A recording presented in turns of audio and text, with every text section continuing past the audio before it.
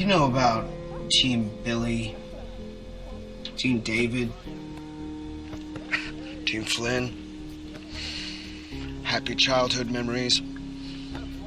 proud parents, future plans. My kid will run the world. The sky is the limit. Everything is possible. But it's not. Parents give hope and trust against better knowledge. Flynn will get older and will settle for less. He will be poor or almost poor, and we will will be proud that he makes it into the middle class. He works, he gets a family, finally cannot move, so it's over before it ever began. What Team Flynn was all about. I'm so tired. I've done my duty. I've just killed the most powerful person on the planet and all his corrupt partners. Killed so many people in my life, and no one can judge me for that. I tried to show you the world for what it is, and you stood idly by. You people, you're, you're obsessed with violence. You're focused on my body count rather than what I was telling you. So everything has remained the same. The prison and the gun laws have not changed. Lobbyists still run Washington. The rich are getting richer and the poor are getting poorer. Our health and habitat are being compromised as the corporate elite rape and pillage the earth. The majority of the world's problems are a direct result of American policy. You think this is the greatest country on earth? It never was. You think it's a bastion of opportunity and freedom? It never was. Poor Europeans, criminals, scumbags boarded a boat rife with disease and they made a journey to America. They began plundering the land, raping and killing the natives, cultivating the land with uh, slaves stolen from Africa. Today, 24% of the world see America as the greatest threat to world peace today, followed by China at 6% and Russia at 2%. Believe what you want, but the world's opinion is becoming stronger than American imperialist propaganda. If you are a cop or a soldier, you are a tool for the 0.1%, not the general public. There is no land of the free and home of the brave. If you are a soldier, you are a puppet and nothing else. I have a son now. His name is Billy.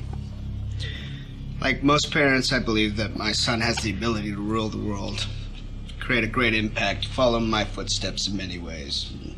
He will be taught that anything is possible. The truth is, that's a lie. Parents are naive. They give hope to their children because it's what they had hoped for themselves. Truth is, my son will likely fall in line with the majority, just barely classified into a rapidly diminishing middle class. Let's face it, if he's not the 1%, he will be poor.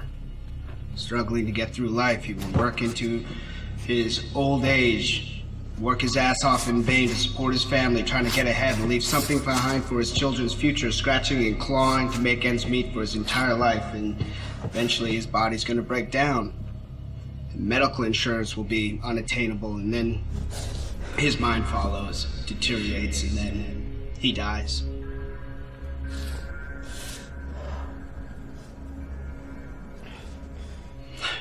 It is what it is. Eventually, everything finds its end. In the beginning, I thought it was all about me. I saw everyone around me stealing, taking for themselves without any regard for anyone else. I saw so much greed, selfishness, separation that I wanted to embody all those things in a way that no one could forget. So when people saw what I was doing, it'd be like they were looking into a mirror and they'd be forced to change.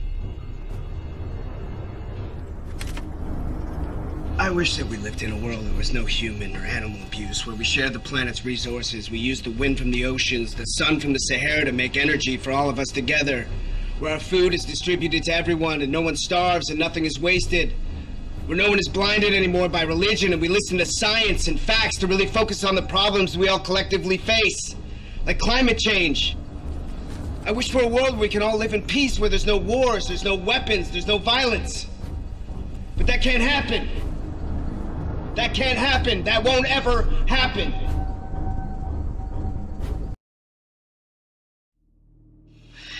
Nietzsche once said, um, on top of the mountain of wisdom, it's very lonely and ice cold. But if you climb it, there's no bigger gratification. Death is coming. Death is the result, it's the consequence. So I urge you one last time, for yourself, for your family, to climb that mountaintop. You know what I'm talking about. This is my last message to you. In vain. All the best.